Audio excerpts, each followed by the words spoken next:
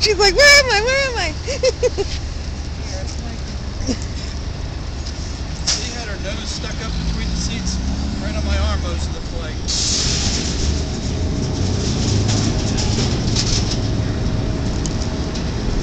There's our hero right there.